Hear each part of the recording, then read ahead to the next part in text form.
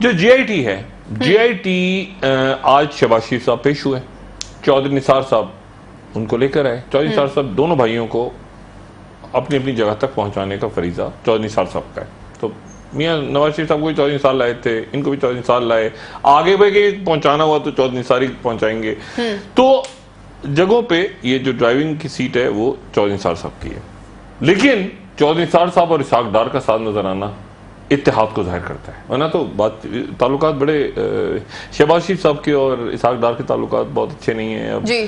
چودھری نثار صاحب کے تو بالکل ہی اچھے نہیں ہیں اسحاق ڈار صاحب کے لیکن۔ دونوں موجود ہیں مطلب رسم دنیا بھی ہے موقع بھی ہے دستور بھی ہے۔ لیکن جو مزیدار بات ہے وہ یہ ہے کہ اسحاق ڈار صاحب کا سمجھ نہیں آیا ابھی تک۔ کیونکہ اسحاق ڈار صاحب کا جو میں نے پہلے بھی کہا تھا اسحاق ڈار اپنی کوشش پوری کر رہے ہیں کہ ان کا کہیں سے۔ حالانکہ پہلا پہلی طلبی اسحاق ڈار صاحب کی ہونی چاہیے تھی کہانی شروع وہیں سے ہونی چاہیے تھی۔ مجھے لگتا ہے اس کہانی کا اختتام اسحاق ڈار صاحب پہ اور ہماری بہن پہ ہوگا۔ لیکن یہ بہرحال اسحاق ڈار صاحب ابھی سب کو تسلی دیتے ہوئے یار تو تو بھی اچھا ہے تو مریم نواز صاحبہ ہاں مریم نواز ہو وہ ہوگا نا اسحاق ڈار تو لازمن ہو گیا سارا کیس اس پہ گورے چوبیس کم۔ اچھا دوسری بات دیکھیں آج ایک بیانیہ تبدیل ہوا ہے۔ آج ایک بات تبدیل ہوئی ہے غور اس جملے پہ غور کریں۔ جی۔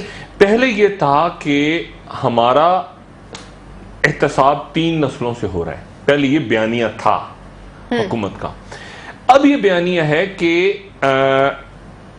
ہمارے خاندان حکومت کا کوئی تعلق نہیں ہے کرپشن کا صرف ایک خاندان کو ٹارگٹ کیا جا رہا ہے۔ یعنی صرف ایک خاندان کا اس کا کوئی تعلق کہیں سے نہیں ہے۔ ایک خاندان کو کیوں جائے؟ حنیف عباسی صاحب کا جو نقطہ ہے وہ یہ ہے کہ صرف ایک خاندانی کیوں؟ سب خاندانوں کا ہونا چاہیے۔ پبلک کا بھی یہی پوائنٹ آف۔ ویو ویسے کہ سب کا ہونا چاہیے اور ہمارا بھی یہ پوائنٹ آف ویو کہ سب کا ہونا چاہیے سب کو سب کو سب کا۔ احتساب تو ایسے ہی ہوگا۔ سب کا ہوگا سب ہال سب آرام سکون سے بیٹھے ہوگا سب کا زبردست